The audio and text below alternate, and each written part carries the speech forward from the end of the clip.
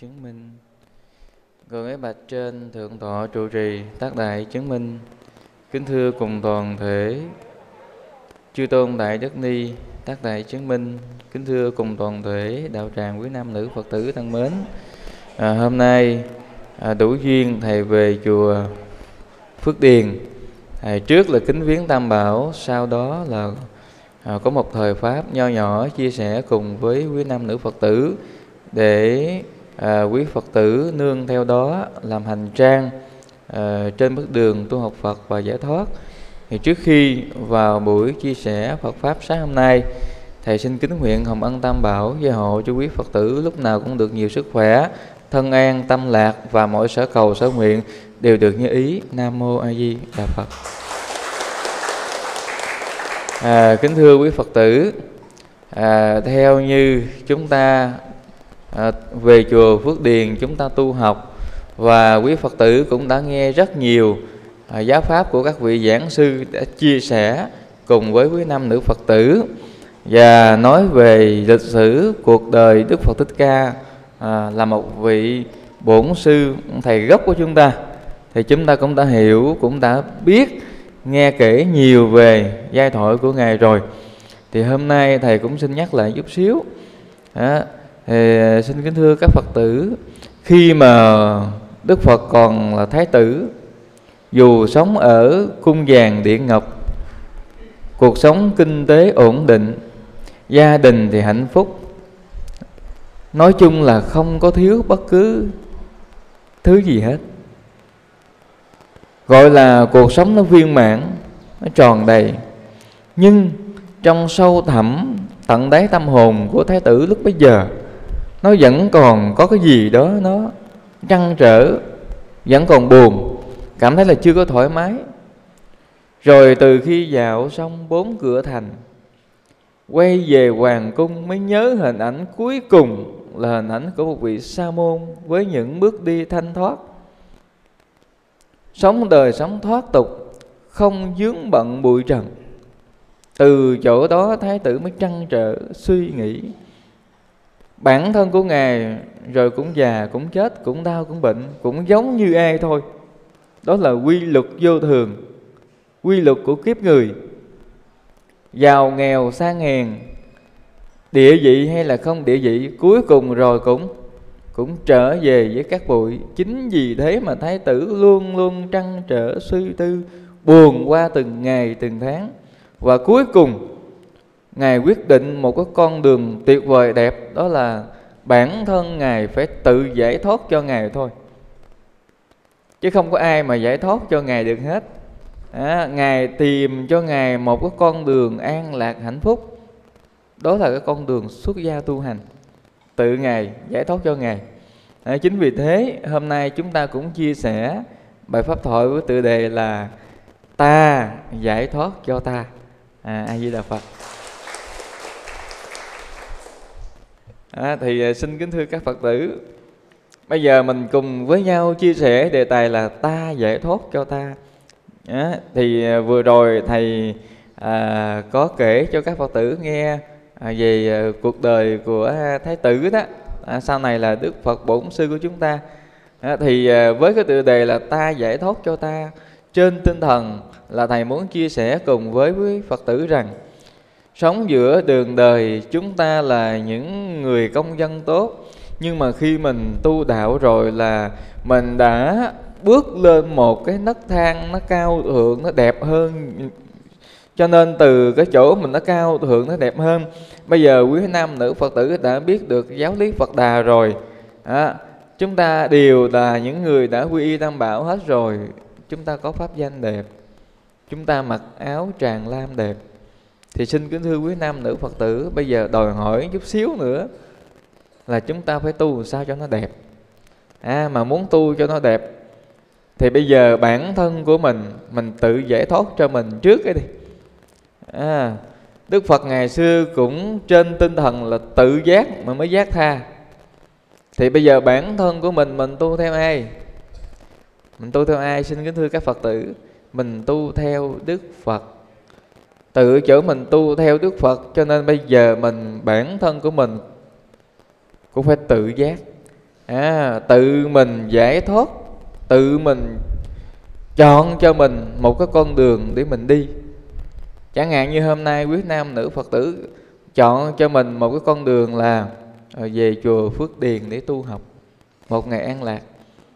Đây là một cái hướng đi tốt đây là một cái hướng đi nó có cái nhân quả phải nói là hạnh phúc về sau đây là một cái hướng đi giúp cho quý nam nữ Phật tử đời đời sanh ra được gặp thiện tri thức, được gần gũi tam bảo, được sống nơi hiền lành, được sanh ra lớn lên trong một gia đình phải là thuần của về Phật pháp. Đó, đó là những cái căn lành nhờ cái nhân lành mình tích trữ mà mình thành tựu được căn lành phải là nó viên mãn nó tuyệt đối. Thì bây giờ trong quá trình tự bản thân mình giải thoát cho bản thân mình thì xin kính thưa quý phật tử mình hiểu hai chữ giải thoát một chút xíu thường cái mình nghe hai chữ giải thoát ờ à, cái người tôi được giải thoát. Cái mình hiểu cái chữ giải thoát giống như là chết rồi á. À, à, tôi về chùa tôi tu tập sau này tôi mong cầu được giải thoát. À, cái mình tưởng mình suy nghĩ là giải thoát nghĩa là chết rồi à nhưng ở chỗ này cái chữ giải thoát cái chỗ này là mình phải hiểu. À, giải thoát là chúng ta cởi trói đi chúng ta phải nói là cởi mở được cái sự ràng buộc. Mình giải thoát được những cái gì nó không tốt bụi trần những cái ưu nhiễm của cõi trần ai những cái đau khổ những cái muộn phiền mình không còn dính vào mình không còn không còn vướng vào thì đó là chúng ta đã giải thoát được rồi. Mình tu một Phật mình nên nhớ là giáo lý của, của Đức Phật Thích Ca luôn luôn áp dụng an lạc hạnh phúc trong đời hiện tại. Chứ không phải là chúng ta suy nghĩ à, à một cái phương trời nào đó nó hơi xa nó hơi xa vời với chúng ta. Nó không có thực tế. Mà những lời Đức Phật dạy khuyên chúng ta nó đều an lạc trong hiện tại mà an lạc trong hiện tại này thì dĩ nhiên sẽ có hạnh phúc được ở tương lai. Còn trong hiện tại này, nếu như chúng ta nương vào giáo lý Phật Đà mà chúng ta không có thấy được cái sự an lạc, thì xin thưa quý Phật tử sẽ không có được cái sự hạnh phúc ở tương lai đâu. Không có được cái sự giải thoát ở tương lai nữa. Thế cho nên là an lạc trong hiện tại này là quan trọng nhất, là căn lành đẹp nhất đẹp về tâm linh của chúng ta mà đẹp cho những người xung quanh mình nữa. Xin kính thưa các phật tử. Đấy, bây giờ thầy xin thí dụ. Từ hồi trước cho tới bây giờ quý nam nữ phật tử là những người thường xuyên là chúng ta ăn mặn. Bây giờ mình biết phật pháp mình tập ăn chay. Có phải là mình giải thoát chút xíu không? Có phải là mình giải thoát chút xíu, cái nghiệp phải là sát sanh không? Cái nghiệp gieo thù kết quán không? Đó rồi bây giờ mình tập ăn chay trường luôn. Có phải là mình đã giải thoát được cái nghiệp sát luôn không? Đây là giải thoát đây. Nó mình phải hiểu gì á. Xưa kia tôi không biết phật pháp. Tôi cứ nghĩ rằng giặt dưỡng nhân, cho nên tôi cứ tha hồ mà tôi ăn. Ăn thịt trâu chó bò gà vịt heo rồi hải sản rồi những cái loài phải nói là à, ở trên rừng ta nói thôi đủ thứ chứ nhưng mà mình nên suy nghĩ mình nên nhớ một điều rằng đức phật dạy tất cả chúng sanh là bình đẳng như nhau. Cho nên không có nói một đức phật không nói là ừ mình là có quyền sát sanh những con vật đó để mình ăn. Đức Phật không nói cái điều đó. Đức Phật không có dạy điều đó, Mà Đức Phật khuyên chúng ta nên thể hiện cái từ tâm của mình, Thể hiện cái tình thương của mình Đến với tất cả muôn loài, Từ con người cho tới con vật. Nếu như mình tu theo giáo lý Phật Đà, Mình mặc trên người chiếc áo màu lam, Áo màu nâu, đẹp quá, Đây là màu áo của sự giải thoát mà áo của sự thánh thiện mà mình không có thánh thiện mà mình mặc cái mà áo này xin kính thưa quý nam nữ phật tử có đôi lúc mình cũng cảm thấy là mình hổ thẹn mình buồn. Cho nên đó, mình phải tu tập như thế nào để cho đức phật ngài nhìn thấy ngài hoan hỷ ngài mỉm cười với cái sự tu tập của chúng ta? Tất cả mười phương chư phật, chư vị bồ tát, chư thánh hiền tăng, các ngài đều có một cái tình thương vô bờ bến đối với chúng sanh, đối với muôn loài. Thì hôm nay chúng ta là những người có nhân duyên, chúng ta được tiếp cận phật pháp. Hạnh phúc là chúng ta được đến chùa, được quy y tam bảo, được sự hướng dẫn của quý thầy, quý sư cô để tìm về bến giác mà tìm về bến giác thì chúng ta phải có cái chữ giác ở trong đó mới được. Mình muốn giải thoát thì bản thân mình phải tự giác, tự tu, tự tích đức, tự tích phước, tự phát triển căn lành. Và đồng thời, bản thân của mình cũng tự khắc phục những cái điều đau khổ, những cái nghiệp sai quấy, những cái chuyện xấu mình phải có được như vậy thì chúng ta mới thật sự là có được cái sự an lạc, hạnh phúc và giải thoát. Nhưng xin kính thưa quý phật tử, một ngày trôi qua, một tháng trôi qua, đời sống con người thì nó thay đổi, sức khỏe của quý phật tử cũng thay đổi, rồi suy nghĩ của quý phật tử cũng thay đổi theo luôn. Khi mà đời sống kinh tế của quý phật tử ổn định, hạnh phúc thì dĩ nhiên á, quý phật tử á, tới những ngày mà tu tập như thế này quý phật tử sẽ hoan hỷ về chùa tu tập rất là tinh tấn ha. Rất là phải nói là phấn khởi vui vẻ. Nhưng mà khi đời sống kinh tế của gia đình mình nó eo hẹp chút xíu lúc đó chúng ta cũng nhớ hôm nay là cái ngày tu nè.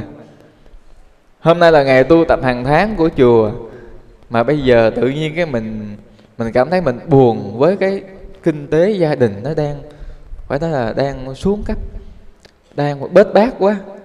Giờ không có cái cái cái cái cái sự tịnh tâm cũng như không có một cái tinh thần để về mình tu tập. Cho nên từ chỗ này chúng ta cũng giải đãi chúng ta không có giải thoát được nữa. Cho nên từ chỗ này chúng ta suy nghĩ cái tâm lười biếng ở trong con người chúng ta thì dĩ nhiên ai cũng có một cái cái, cái tâm lười biếng. Cái đó gọi là cái con con ma đó. Con ma đó nó làm cho chúng ta bị phiền não. Thấy không?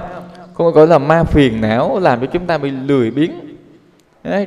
trong con người chúng ta có nhiều con ma con ma ma sợ chết cũng là một con ma. À ma sợ chết nè. Ma lười biếng nè. Ma tham dục nè. À con ma phải là tham danh vọng nè. À, con ma tham giàu nè đủ thứ cái loại ma này nó luôn luôn là nó nhiễu hại chúng ta. Từ cái chỗ đó mà chúng ta mất đi cái cái sự tịnh tâm. Đang niệm phật. Chứ nhiều khi mình chợt mình suy nghĩ ờ ngày mai mình làm kinh tế mình phải suy nghĩ như thế nào ờ, để cho mau làm giàu. Thì cái này mình cũng bị phân tâm. Phân tâm hay không kính thưa các phật tử? Mình bị phân tâm phải không? À, cũng giống như hồi nãy thầy nói đó à, khi mà gia đình mình á, cuộc sống ổn định á, giàu có mình đi tu thì mình vui vẻ mình hoan hỷ. Nhưng mà khi mình hay bị phải nói là à, khó khăn về mặt kinh tế chút xíu là mình suy sụp tinh thần rồi. Thì bây giờ mình tu tập như thế nào để mình giải thoát cái tâm này? Đã nói tu phật thì mình phải buông bỏ hai cái chữ là giàu nghèo được có chỗ này. Tại mình về chùa mình tu phật là mình đang rèn luyện cho mình một cái cái tâm phải nói là bồ đề tâm cho nó kiên cố thì không để cho những kinh tế không để cho hoàn cảnh nó chi phối tới cái tâm phật của quý nam nữ phật tử nếu mà được như vậy thì trong bất cứ hoàn cảnh nào hạnh phúc hay là khổ đau được hay là mất thì quý nam nữ Phật tử vẫn giữ cho mình được một cái tâm kiên định hướng về giáo lý Phật Đà, hướng về con đường giải thoát. Còn nếu như tâm của mình bị hoàn cảnh nó chi phối, nó lung lay, cảnh bị những cái cảnh xung quanh nó vô thường nó chi phối thì làm cho mình lười biếng đi chùa thì mình bị mất đi cái căn lành mất đi cái hạt giống Phật pháp của mình. Có nghĩa là mình không có nuôi cho được cái cái cái hạt giống Phật pháp mình nó lớn mạnh nó kiên cố mà mình bị ảnh hưởng đời sống xung quanh mình không phát triển nó được đó, cho nên mình phải giải thoát hết được những cái những cái duyên bên ngoài những cái nghiệp bên ngoài. Mình phải nuôi lớn phật tâm trong lòng của mình. Mình nuôi lớn căn lành trong lòng của mình.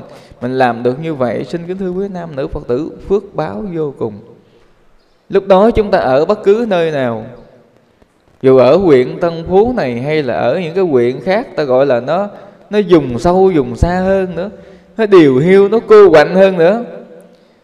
Nhưng mà do là chúng ta có một cái tâm kiên cố với chánh pháp Phật Đà, cho nên sống bất cứ nơi nào chúng ta cũng thấy an lạc và hạnh phúc. Người khéo tu sống nơi điều hiu vẫn cảm thấy bình an, hạnh phúc, không thấy buồn.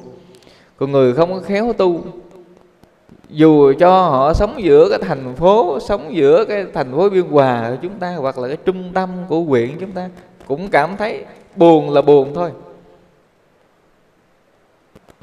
Còn khi chúng ta biết Phật Pháp rồi, Chúng ta nhìn thấy tất cả mọi cảnh đều là duyên. Mọi cảnh đều là duyên. Chúng ta giàu sang hạnh phúc, Đây là cái duyên phước quá khứ. Chúng ta nghèo khổ trong hiện tại Cũng là những cái nghiệp chướng trong quá khứ. Mà trong đời hiện tại này Chúng ta làm cực lực, Đổ mồ hôi sôi nước mắt. Ta nói là sáng là thức sớm, đi làm Chiều tối mới về tới nhà. Nhưng mà kinh tế đời sống Thì nó vẫn phải nói là đủ ăn Hoặc là thiếu thốn chút xíu. Mà xung quanh chúng ta thì người thân, gia đình, cha mẹ, anh em, họ hàng Nhiều khi họ cũng nghèo giống như chúng ta. Mà nghèo giống như nhau thì lấy gì giúp đỡ? Nghèo giống như nhau thì lấy gì giúp đỡ nhau? Xin kính thưa các Phật tử Nếu như chúng ta sanh trong gia đình giàu sang hạnh phúc Mà bản thân của chúng ta cũng được hạnh phúc giàu sang Thì quá khứ ta cùng với những người thân của chúng ta Cộng nghiệp với nhau về bố thí cúng dường Phước báo vô lượng. Cho nên trong đời hiện tại này, Giàu là giàu cả gia đình, Giàu cả dòng họ. Còn thí dụ như chúng ta nghèo mà chúng ta nghèo cả gia đình, thì chúng ta cũng nên hiểu là mình cùng với những người thân hiện tại này của mình, xưa kia cũng dụng đường tu, tham lam bổn sản ăn xài trác tán, lãng phí tiền bạc không có biết bố thí cúng dường, không có biết phải nên là tương trợ cho những mảnh đời đau khổ, nghèo khó hơn mình cho nên trong hiện tại này chúng ta nghèo, Chúng ta sanh trong gia đình nghèo Mà nhìn qua, nhìn lại dòng họ của chúng ta cũng nghèo không Thì chúng ta cũng cộng nghiệp nghèo với nhau, Cho nên trong hiện tại này chúng ta mới Mới sống với nhau chung một mấy đình, Gia đình đó. À, thì nhưng mà xin kính thưa quý nam nữ Phật tử Đó là mình nói về những cái hoàn cảnh thực tế Cũng như là khách quan trong cuộc sống. Rồi mình nhìn vào Bây giờ mình phải chọn cho mình một cái hướng tu tập một hướng đi như thế nào để bản thân mình thật sự là giải thoát cho ta cho mình. Vì hôm nay chúng ta chia sẻ đề tài là ta giải thoát cho ta xin kính thưa quý phật tử nghiệp của mình gây không ai giải thoát nghiệp được cho mình không ai cứu mình được. Chỉ có bản thân mình là giúp mình cứu mình thôi. Giống như xưa kia quý phật tử à, khi mà chúng ta còn độc thân à, chưa có gia đình à, chưa có gia đình thì chúng lúc đó chúng ta làm sao? Chúng ta mong muốn đời sống gia đình phải không? À, có vợ có con cho hạnh phúc. À, nhưng mà khi có gia đình rồi nếu mà hạnh phúc á, thì quý phật tử không nói gì hết á. Đời sống vợ chồng mà phải nói là cơm lành canh ngọt thì nó êm đềm không có cái sự mà than gian gì ở đây. Nhưng mà khi mà đời sống vợ chồng không có được làm ấm rồi thì sao? Biết gì đó tôi đừng có vợ biết vậy từ đó tôi biết vậy phải hồi đó tôi không có chồng mà khi mà đời sống vợ chồng sống với nhau một thời gian mà ly dị không còn thích ở với người đó nữa thì đây gọi là giải thoát. Đây gọi là giải thoát được rồi đó. À, tôi giải thoát được. Nhưng mà cái, cái chữ giải thoát thì nó sâu sắc. Nếu như mà mình biết Phật pháp để mình giải thoát mình không còn duyên vợ chồng đối với chúng sanh nữa đối với những người nam người nữ nữa và mình chọn cho mình một đời sống phải nói là gọi là độc thân để mình tu đó. Cư quạnh để mình tu đó. Thì đây mới thật sự là giải thoát là vĩnh viễn. Còn thí dụ như mình thôi cô này mình ở với cô khác thì cũng không không thể nào gọi là giải thoát ha các phật tử ha. Cái đó là duyên của mình nó vẫn còn.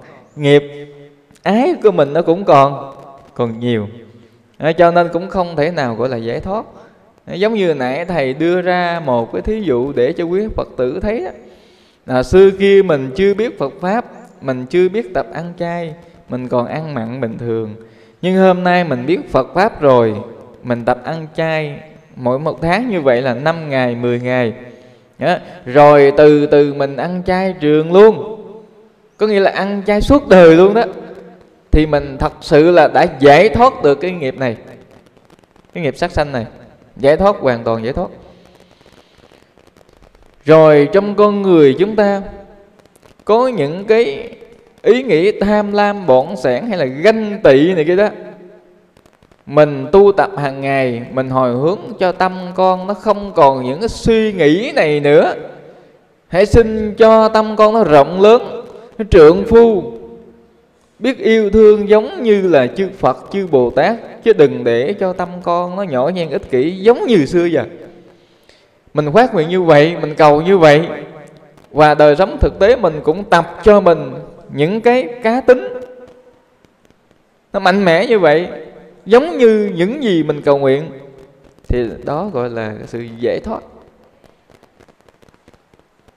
chứ không cần là phải người ta chết rồi tôi giải thoát hết kiếp này, tôi sanh gì cõi phật, đó là giải thoát, không phải. Nếu mà chúng ta suy nghĩ như vậy thì tội nghiệp đức phật quá. Cái chuyện mà giải thoát qua một đời nó sẽ khác. Chúng ta chỉ là giải thoát kiếp này thôi. Nhưng mà chúng ta có nhờ có phước báo, cho nên xong kiếp này, trả nghiệp xong kiếp này tắt hơi thở kiếp này. Chúng ta vẫn còn sanh lại thì chưa thể nào gọi là giải thoát. Đó gọi là luân hồi từ cái thân mạng này chuyển đổi qua một cái hình tướng khác thôi, chứ không thể nào gọi là giải thoát. Ừ. Khi mà chúng ta tu hành mà chứng quả rồi không sanh lại cõi này nữa đó đó mới gọi là giải thoát. Đó là giải thoát mãi mãi đó. Còn chúng ta nợ nần, nghiệp trần của chúng ta nhiều quá, xin kính thưa các phật tử, cho nên nói tới hai chữ giải thoát. Nói nghe cho vui thôi. Nhưng mà giải thoát mãi mãi là chưa được, nhưng mà chúng ta có quyền giải thoát từng phần. Tôi tham lam quá. Bây giờ tôi ráng tu tập, tôi chuyển hóa như thế nào để cho tâm tham lam của tôi nó không còn ở trong lòng của tôi nữa. Mà ngược lại tôi biết san sẻ tôi biết chia sẻ mảnh đời khốn khó. Tôi biết giúp đỡ. Đó, tôi biết bố thí cúng dường biết trợ duyên. Đây là mình giải thoát được cái nghiệp nghiệp tham của mình. Mà muốn giải thoát được những nghiệp từng phần trong con người chúng ta thì xin thưa quý nam nữ phật tử như hồi nãy thầy nói cái nghiệp chúng sanh của mình cũng như cái tâm của mình nó luôn luôn, nó vô thường, nó dao động theo cái đời sống hàng ngày. Nó bị ảnh hưởng bởi cái không khí của gia đình nữa. Chính vì những cái ảnh hưởng đó, nó làm cho mình có đôi lúc mình tinh tấn lắm. Nhưng mà có những lúc mình lười biếng, mình giải để như vậy thì bây giờ mình phải tìm một con đường nào để cho mình thật sự là mình mình phát triển cái căn lành của mình nó không bị chi phối nó không bị gián đoạn. Thì làm sao kính thưa các phật tử? Làm sao để tự mình giải thoát cho mình coi làm sao? Không phải chúng ta về chùa, chúng ta tu một ngày an lạc là chúng ta cảm thấy nó đủ rồi. Đừng suy nghĩ như vậy. Về chùa tu tập một ngày an lạc là để chúng ta ngồi lại với nhau. Mình nhìn lại bản thân mình và đồng thời mình lắng nghe cái sự hướng dẫn, chia sẻ của thầy trụ trì cũng như là các vị sư cô. Chia sẻ về cái hạnh đức của người tu, cái cần thiết của người tu, những điều mà các phật tử nên biết, nên làm, nên thực hành để có được cái sự an lạc phước báo vĩnh viễn rồi thêm vào đó, quý nam nữ phật tử đã lắng nghe một ngày an lạc. Rồi lắng nghe nhiều ngày an lạc rồi. Thì bây giờ nhờ cái sự lắng nghe nhiều lần, chúng ta về, chúng ta tu tập, chúng ta thấy có được cái sự an lạc, thì quý nam nữ phật tử khi mà chúng ta về lại nhà của chúng ta, thì chúng ta tiếp tục giữ cái sự an lạc này à, chúng ta giữ sự an lạc này từng giờ. Mỗi một giờ trôi qua mỗi một ngày trôi qua chúng ta luôn luôn nhớ cái sự an lạc này. Đó gọi là cái sự giải thoát của chúng ta. Mình ngồi đây mình cảm nhận được có sự an lạc hạnh phúc. Mà mình đem cái sự an lạc hạnh phúc này mình nhớ nó mình giữ nó mình thực hành nó để cho mình về chùa mình cũng cảm thấy an lạc. Mà mình ở nhà mình cũng cảm thấy là an lạc hạnh phúc thì đây gọi là giải thoát. Nhưng mà cái chuyện này khó làm lắm. Về chùa ngồi đây thì có sự an lạc. Nhưng mà về nhà muốn được muốn giữ được cái sự an lạc này nó khó hả bố? Khó không bố? Khó phải không? Nó khó không cô? Khó phải không? À, phải nói gặp mà mình đi về nhà mình đang ngồi niệm phật mà gặp ông chồng say xỉn nó về ông nghiêng qua nghiêng lại rồi ông chửi bới ông sầm mà sao an lạc được? Ha nó cũng khó khăn như vậy. Đó ta gọi là sao? Chướng duyên. Mà trong cái chướng duyên như vậy mà mình vẫn giữ được cái tâm để mình tu tập á thì mới mình mới thật sự là những người phải nói là tu phải nói ở cấp độ phải là, là số 1 ha chúng ta mới là những người phải nói là thượng căn chứ không phải là những người hạ căn đó. thì bây giờ như ở ở nhà quý phật tử quý phật tử nên nhớ. À, thầy xin kính thưa các phật tử.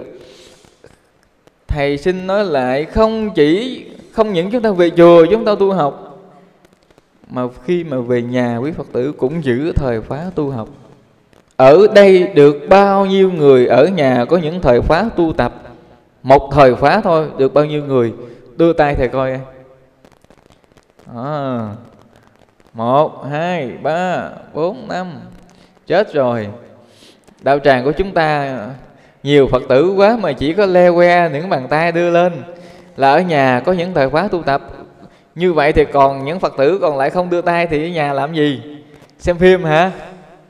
Xem phim á xem ca nhạc? Chắc xem phim tình cảm hàn quốc quá. Ha hay là hay là xem phim kiếm hiệp? Hay là xem hài? Xin kính thưa các phật tử các phật tử có quyền xem phim có quyền nghe ca nhạc có quyền xem hài. Đó là cái là cái cái cái cái, cái sở thích của chúng ta chúng ta có quyền.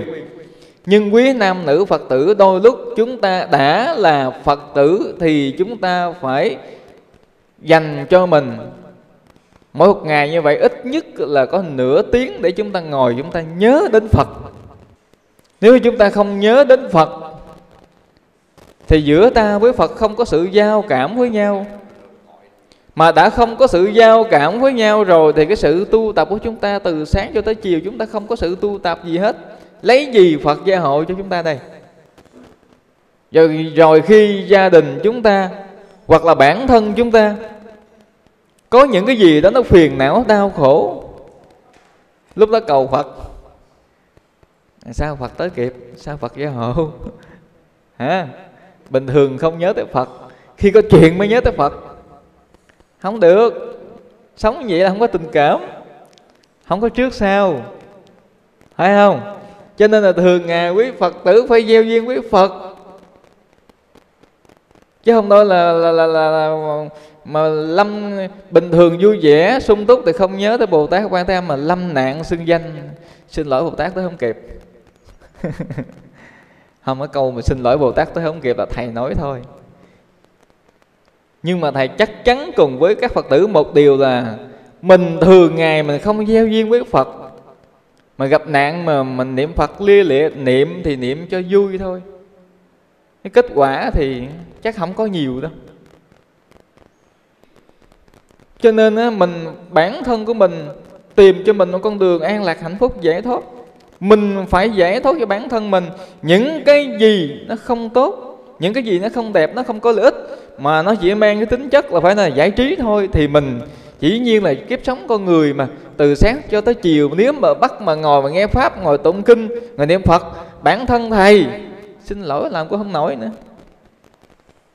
Phải có cái này cái kia nữa à, đời sống trong chùa thì sáng thức dậy tụng kinh xong rồi phải ra quét rác làm công quả chứ. Tại vì mình nhớ một điều là mình tu theo giáo lý Phật Đà thực hành theo lời Phật dạy. Tam nghiệp mình thanh tịnh. Thì hừng sáng quý Phật tử à, ở nhà chúng ta cũng có những cái thời khóa chúng ta niệm Phật đi. Rồi chúng ta, chúng ta ra cuộc sống chúng ta làm ăn mà nghề nghiệp chúng ta là những nghề nghiệp nó chánh mạng. Nghề nghiệp nó lương thiện. Nghề nghiệp kiếm đồng tiền một cách là đàng hoàng mồ hôi nước mắt chứ không phải đi lừa gạt, thì đó là những nghề nghiệp chánh mạng. Mà nghề nghiệp chánh mạng như vậy là chúng ta cũng đang niệm phật. Chứ đâu phải nhất thiết là phải nam mô ở giờ phật niệm tối ngày sáng đêm là niệm phật. Thầy không có rảnh mà thầy ngồi niệm phật tối ngày sáng đêm. Xin nói thiệt vậy á. Giây phút nào lên thời khóa mình niệm thì mình niệm. Nhưng mà đời sống mình có những lúc khẩu hành là niệm phật tụng kinh những lời, qua mỹ những lời chánh pháp là chúng ta đang niệm phật bằng khẩu nghiệp thân của chúng ta bước ra ngoài đường, chúng ta làm những cái nghề nghiệp rất là đàng hoàng. Nghề nghiệp phải là không có vi phạm pháp luật xã hội. Đúng với chánh pháp Phật dạy thì thân chúng ta cũng đang niệm Phật. Cho nên các Phật tử tự tin ở chỗ này. Hiểu Phật pháp để tu mới thông dong tự tại, còn không hiểu Phật pháp tu tối ngày cứ sợ tới sợ lui. Thì sao mà tu? Ha, cho nên các phật tử phải hiểu chỗ này tự mình giải thoát cho bản thân mình là chỗ này. Mà muốn giải thoát cho bản thân mình thì ở nhà có quyền xem phim nghe ca nhạc đủ thứ hết. Nhưng mà thầy khuyên một điều là nên dành chút đỉnh thời gian để nghĩ về phật pháp. Niệm phật hoặc là đọc kinh hoặc là lại phật. Một ngày nào mỗi một ngày trôi qua trôi qua mình đều gieo cho mình một cái duyên sâu với tam bảo duyên lành với tam bảo.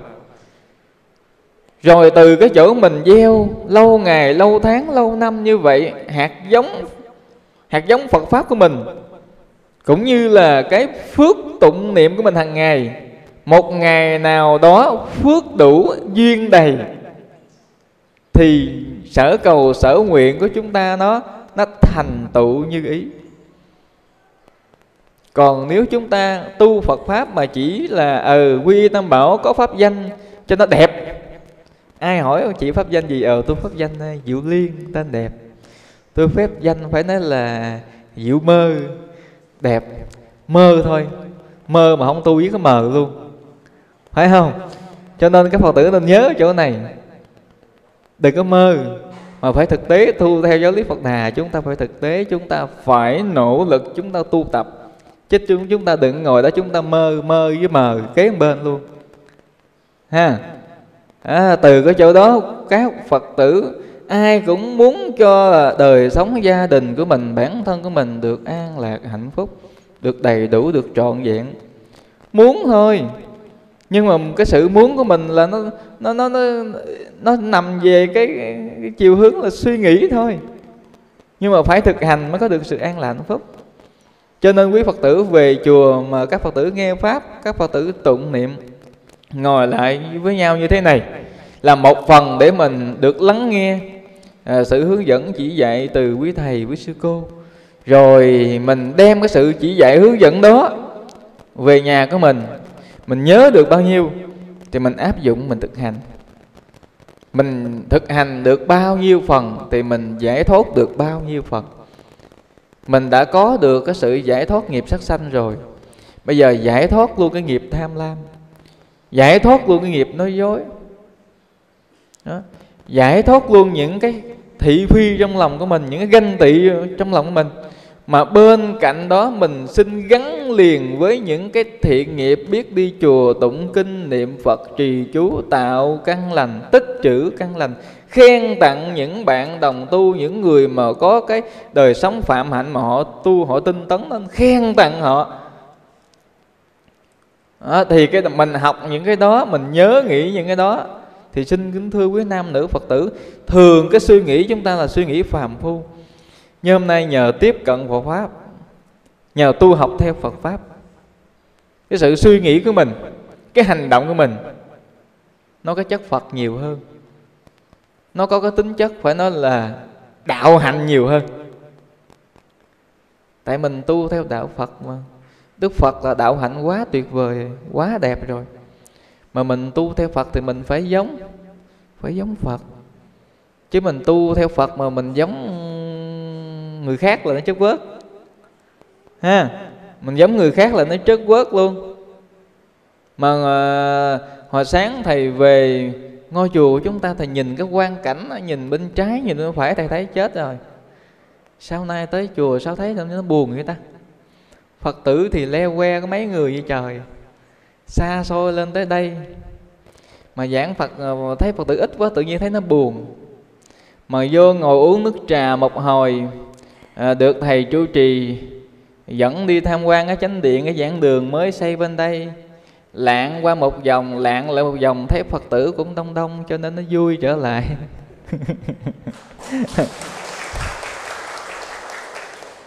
Cái khi sáng thầy tới đây thầy thấy có mấy người à có mấy phật tử à thầy nói chết rồi. Nay ế rồi. Thất bại rồi. À đi buôn mà nay ế. Nhưng mà hôm nay các phật tử ngồi đây đông thì nó cũng an ủi được phần nào nó vui. À, các phật tử? Nhưng mà chúng ta là nói thì chỉ nói vậy thôi chứ thật sự là thầy muốn cho các phật tử là nói gì thì nói. Các phật tử gieo duyên với ai ở ngoài cuộc sống xã hội thì gieo duyên. Nhưng một điều thầy muốn nhắn gửi tới các phật tử á, là đường sanh tử thì hồn ai nấy giữ. Không ai cho ai được phước báo mà cũng không ai kết tội được cho ai. Cho nên bản thân của chúng ta tự mình giải thoát cho mình là một điều hạnh phúc nhất cho nên các phật tử dù bận biệu như thế nào, các phật tử cũng phải ráng cố gắng mỗi một ngày như vậy. Tập cho cái tâm của mình nhớ về phật, nhớ về phật có nhiều cách để nhớ. Đó. niệm phật, tụng kinh, trì chú hay là lại phật, hoặc là ngồi nghe pháp. Là chúng ta có những cái thời khóa như vậy để chúng ta nhớ về phật. Chúng ta nhớ về phật đi, phật sẽ nhớ về chúng ta còn chúng ta ngồi đây, chúng ta chỉ nhớ phim ảnh, nhớ diễn viên hàn quốc không? Là cái này là nghiệp chướng trần lao, càng ngày khổ, thêm khổ. Không có lợi lạc gì cho chúng ta, mà chúng ta chỉ xem đó giống như là những cái món ăn tinh thần giải trí trong cuộc sống thôi. Chứ đừng có đam mê nó. Lúc trước thầy có nhiều cái đam mê lắm, kính thưa các phật tử. Ta nói xem phim mà xem từ sáng tới chiều, xem hết phim này tới phim kia, xem cho nó đã luôn. Nhưng mà cuối cùng rồi được gì? Hao tiền điện, tốn sức, mỏi mắt. Rồi nhiều khi ghiền phim quá, biến ăn luôn là biến ăn. Cuối cùng bệnh. Không có lợi lạc gì hết. Tinh thần con không có minh mẫn con không phát triển, cũng không học hỏi gì hết. Cho nên sau này cái mình tiếp cận Phật pháp, mình thấy ở Phật pháp có những cái điều thiêng liêng, nó nó nó hay, nó đẹp. Chẳng hạn như là một câu chúng ta ngồi đây, chúng ta niệm Phật chúng ta niệm Phật được phước báo. Chúng ta, nếu như cái tâm ích kỷ thì mình chỉ cầu nguyện cho bản thân của mình thôi. Nếu có tâm của mình không ích kỷ, mình biết nghĩ về những nỗi khổ của những người xung quanh. Mình biết cầu nguyện cho họ, biết tu theo Phật pháp giống như mình. Có được cái sự an lạc giải thoát giống như mình, thì đây là một cái tâm lành rất lớn. Cái tâm mình tự nhiên nó mở rộng liền. Một điều mà các phật tử cần nên nhớ, những người mà tu hành đắc đạo, như là mười phương chư phật, chư bồ tát, chư thánh hiền tăng, các ngày này phải là tâm lúc nào cũng rộng lớn, mênh mông. Không có tham lam bọn sẻn, không có ích kỷ.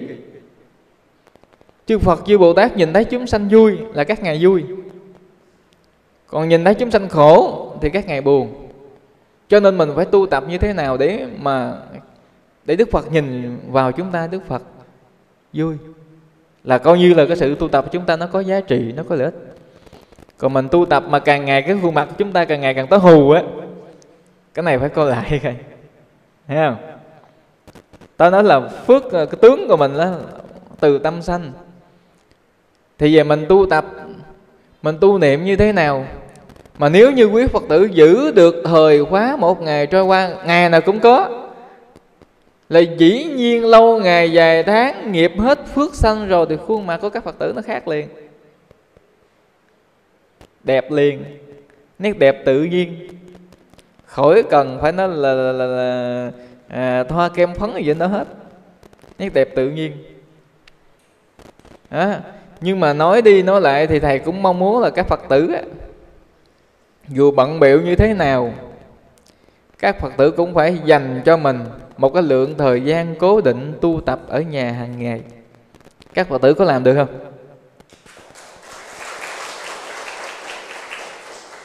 Các phật tử à, bản thân của mình đừng bao giờ mình phụ chính bản thân của mình.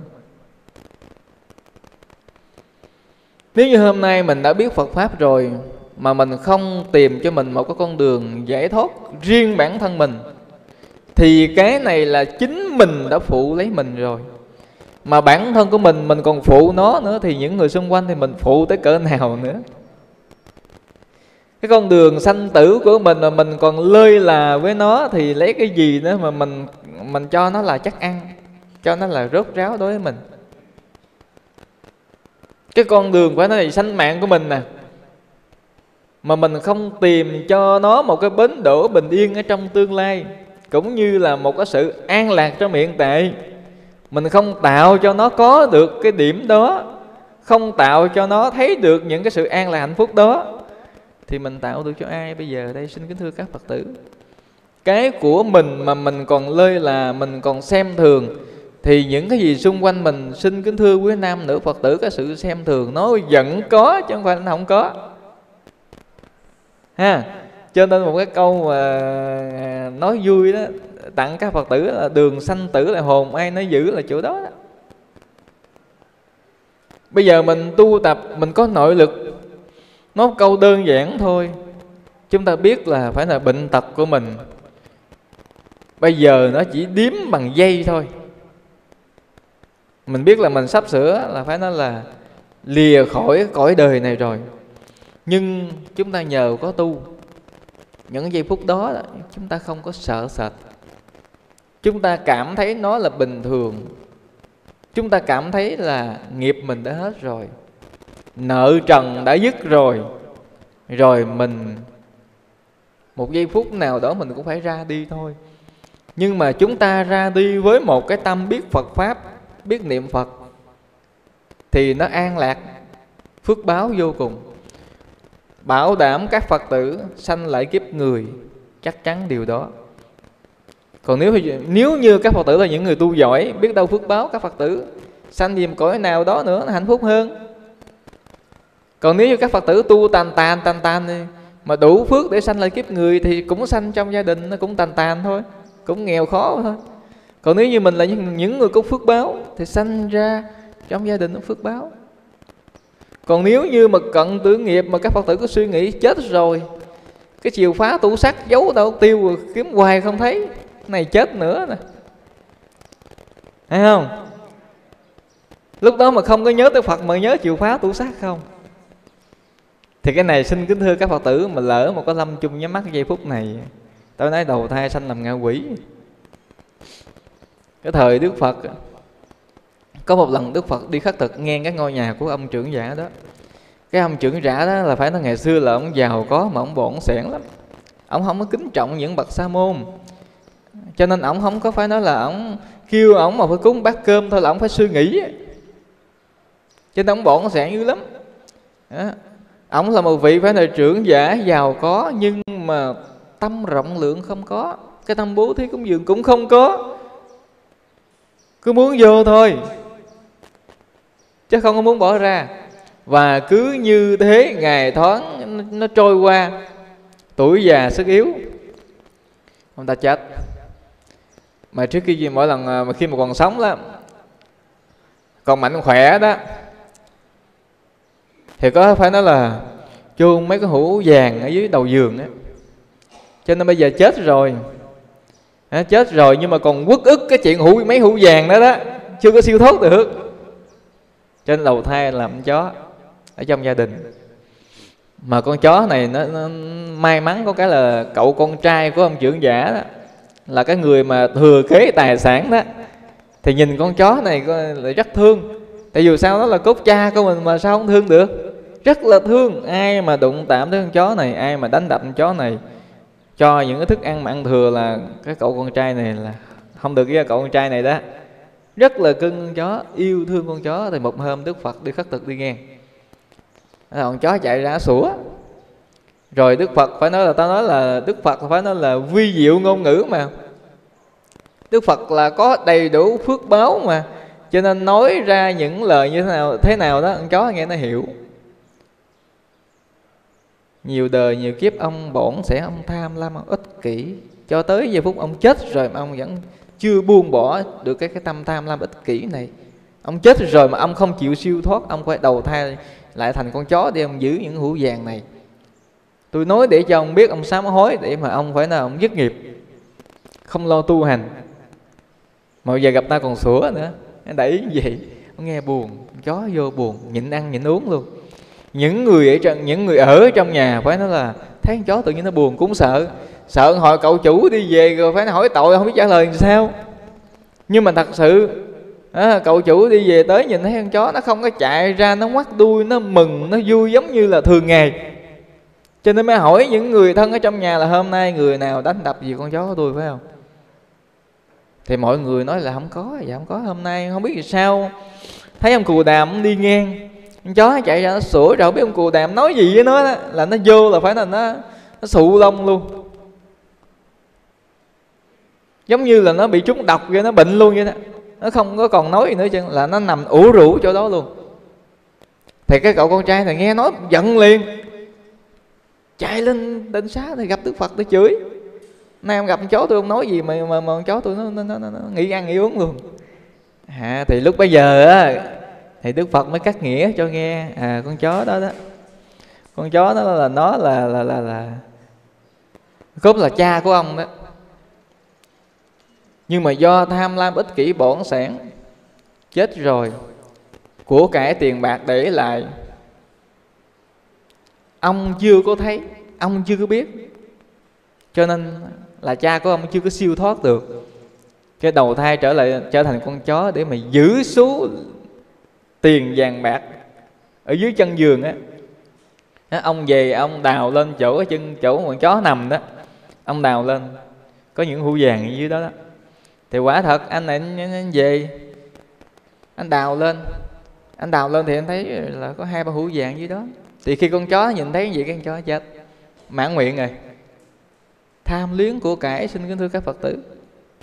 Đây là nói là tham luyến của cải cho nên khi mà cận tử nghiệp chúng ta không nhớ phật chúng ta nhớ của cải thôi thì chúng ta đầu thai chúng ta thành phải nói là súc sanh ngạ quỷ thấy mồ luôn. Cái thời đó là hơn là cái ông trưởng giả này còn gặp đức phật sanh ra gặp ở thời đức phật, cho nên á, cái ông cậu con trai này khi mà ông nhìn thấy như vậy là ông tá quả rồi, ông sợ rồi. Mới tới gặp đức phật, xin phải nói là phương pháp lành để cứu độ cho cha của mình. Thì những cái số khối tài sản để lại là cậu con trai này phải nói là để phân nửa, lấy phân nửa ra để bố thí cúng dường chư tăng. Thầy rất tiếc là không, thời đó không gặp thầy. Uổng.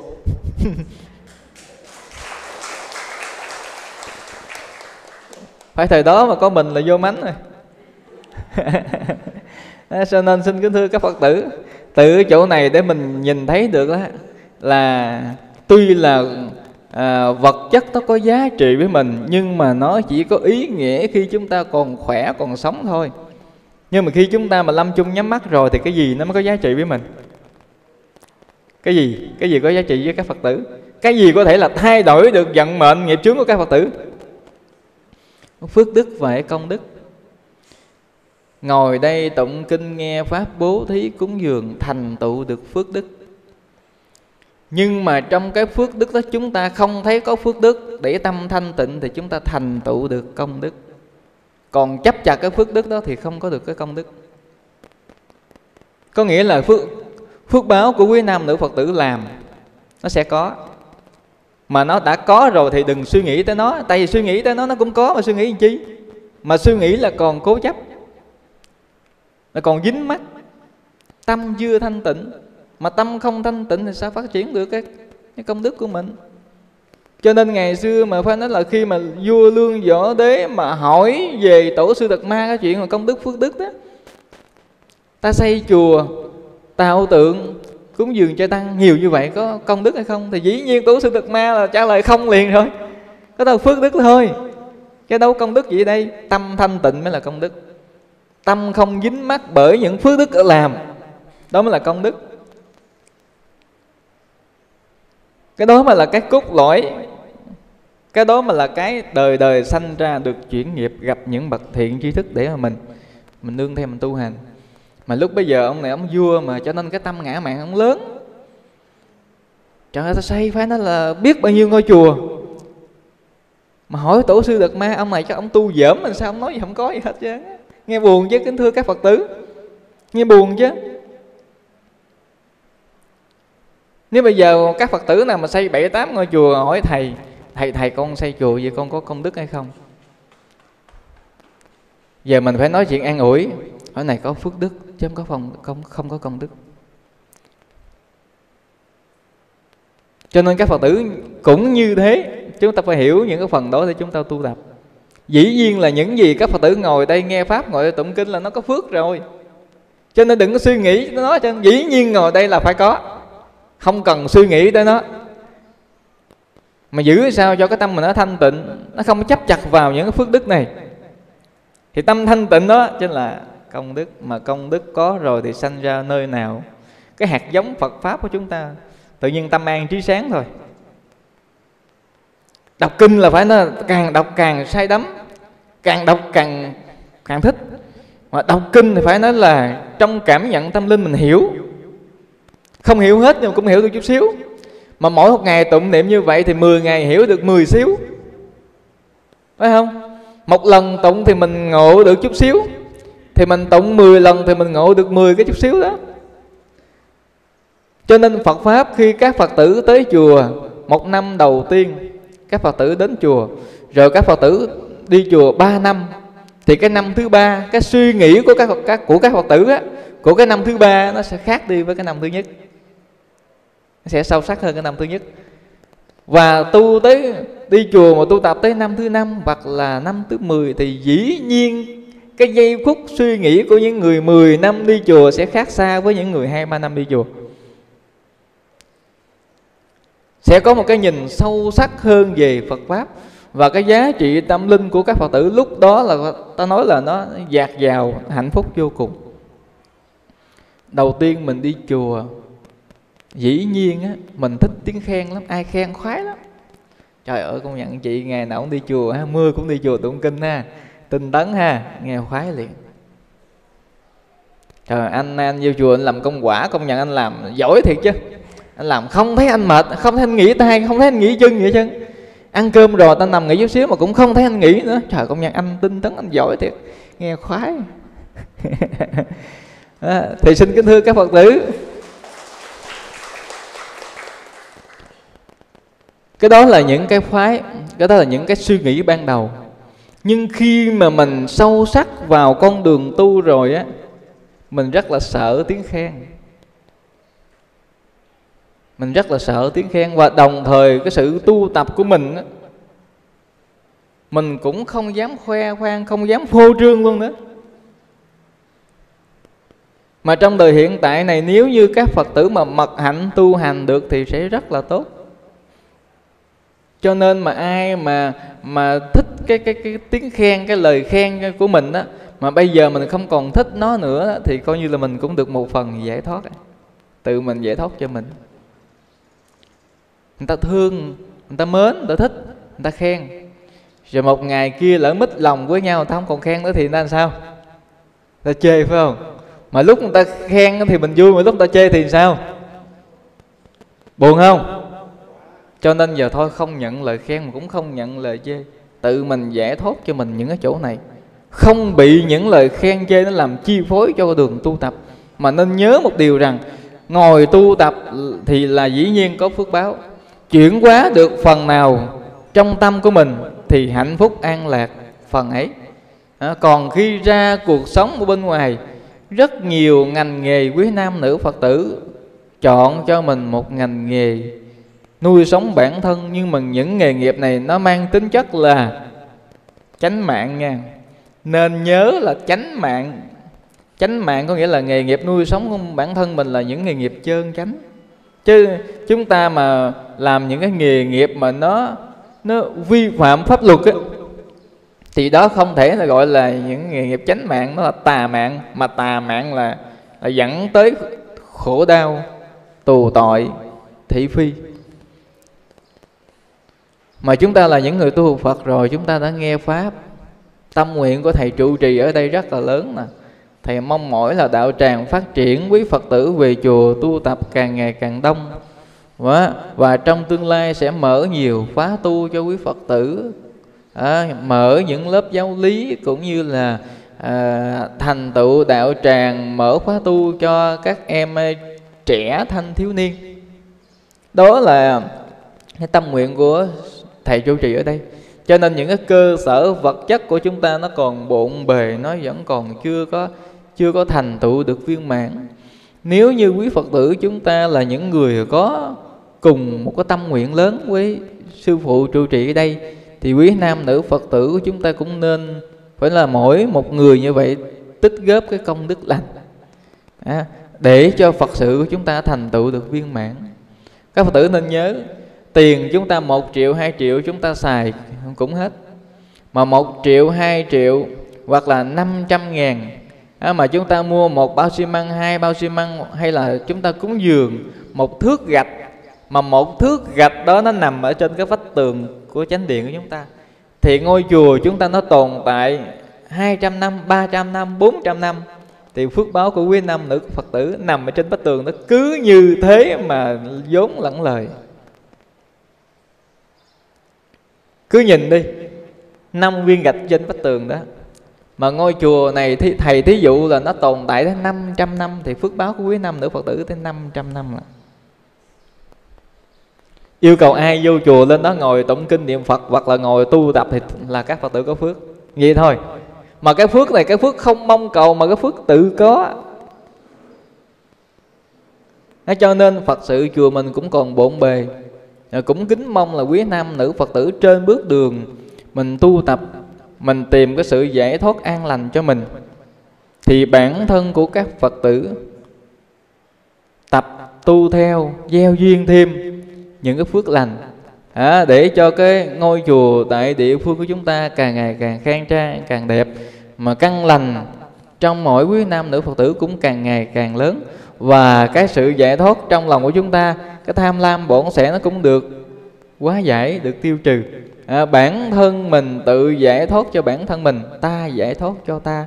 Thì xin kính thưa các phật tử như lúc ban đầu thầy có nói đức phật khi còn là thái tử quyền quy tột đỉnh vợ đẹp con xinh tài sản phải nói là vô giá nhưng mà ngài nhìn thấy được một điều là cái này cũng không thể nào tồn tại mãi mãi với ngài theo thời gian. Vì ngài rồi cũng phải bệnh cũng phải già cũng phải chết. Mà bản thân của ngài ngài còn không giữ lại được thì huống chi là những cái bên ngoài sao giữ lại được? Cho nên ngài mới tìm cho ngài là một con đường giải thoát. Nhờ cái sự giải thoát của Đức Phật mà hôm nay chúng ta được biết được giáo lý Phật Đà, được tiếp cận, được tu hành. Cho nên là chúng ta là những người có nhân duyên phước báo rất lớn đối với Tam Bảo, là những người đang đi giữa vực thẳm, hên quá gặp một cái cái phao để mình đeo cái phao đó mình vô bờ. Chúng ta là những người đang dần dần đi từ cái bờ mê chúng ta về bến giác, từ cái khổ đau hạnh phúc mà chúng ta đi về từ những cái khổ đau chúng ta đi về cái bến bờ hạnh phúc từ cái nơi tối tăm mù mịt chúng ta đi ra cái ánh sáng. Thì thầy hy vọng là quý nam nữ phật tử giữ mãi cái sự an lạc hạnh phúc này, giữ mãi cái ánh sáng này. Để làm gì? Để đời đời tiếp tục sanh ra, được gặp Phật pháp, được tu hành. Và thật sự là có được cái cái an lạc giải thoát trong hiện tại này và hạnh phúc ở tương lai. Thầy cũng xin dừng lại buổi chia sẻ Phật pháp sáng hôm nay à, tại à, chùa của chúng ta nam mô a di đà phật. Ờ, a di đà phật à, hôm nay à, một lần nữa có duyên à, về chùa Phước Điền để có những cái thời pháp à, nho nhỏ à, chia sẻ cùng với quý à, nam nữ Phật tử. À, một lần nữa xin à, cầu nguyện hồng ân tam bảo à, gia hộ cho quý Phật tử. Luôn luôn đạo tâm kiên cố đời sống hiện tại thì người nào cũng có được hạnh phúc an lạc sở cầu sở nguyện đều được như ý. Và chúng con cũng xin thành kính kính chúc cho à, sư phụ trụ trì.